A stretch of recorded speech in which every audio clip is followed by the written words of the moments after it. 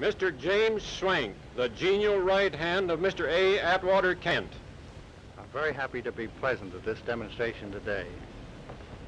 Mr. Jack Rogers, Vice President of Crosley Radio Corporation and the radio industry's leading golf referee.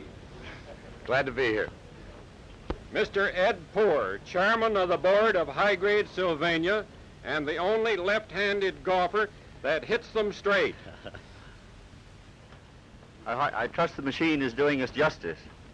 We were not selected for our appearance, but for our courage. Mr. Harry Sparks, Vice President and General Manager of the Sparks Withington Company. We wish that his father, Captain Sparks, could also be present today. He's playing down in Florida.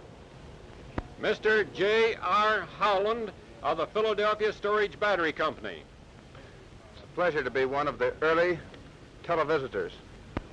Mr. Ernest Alschuler of the Electrical Research Laboratories. It is indeed a pleasure to be in this initial trial for television.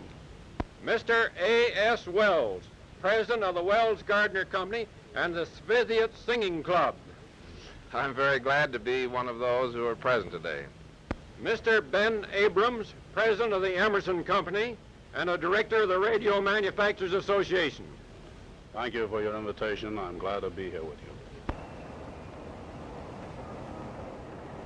The antenna from which the program will be transmitted is clearly visible from here on top of the Empire State Building.